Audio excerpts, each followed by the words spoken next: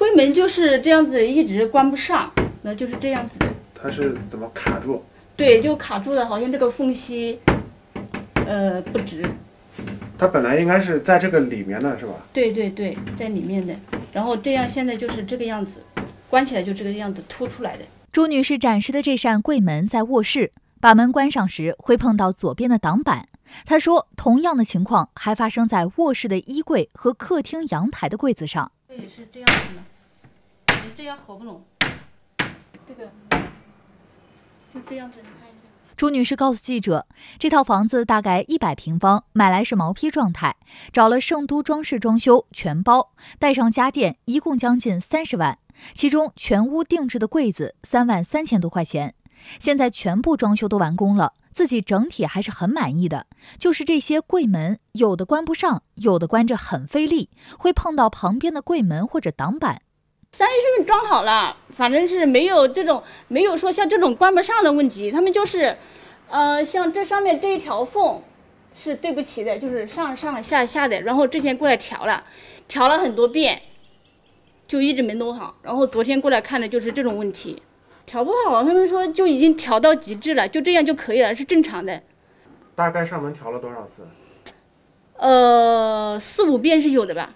朱女士说。自己现在住的地方到新房这里单程就要四五十分钟，这个月打算住进来了，希望装修公司能够一次性彻底解决。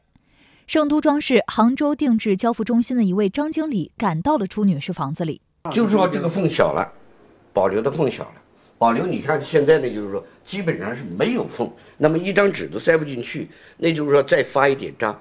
能开打得开，肯定是打不开如果说我这地方留了有两到三个好的缝，它就发胀，还有一到两个好，那也还是能打开。这个板是什么板？这个板是密豆板。密豆板。夏天会发胀吗？对，那就是说梅雨季节，但是我们是有一个周期的，到后期它就不会发胀。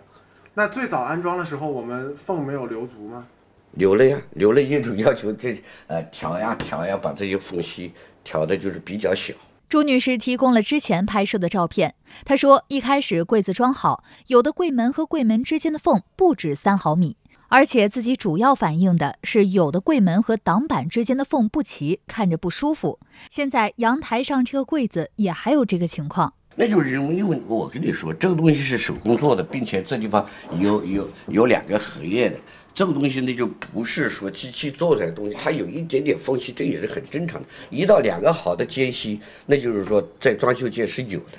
作为我啊，那就是说来处理这个事，我从来没说这就是最终结果，没这回事的。那就是如果我们现在给它调，是绝对能调好的。那就是说像业主说的一次性，那么到我这也就肯定是一次性了。如果说再处理不好，那么我们就全换，或者是全部拆走。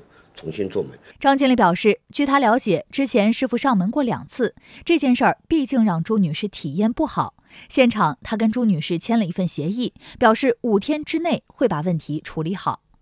幺八幺八黄金眼记者报道。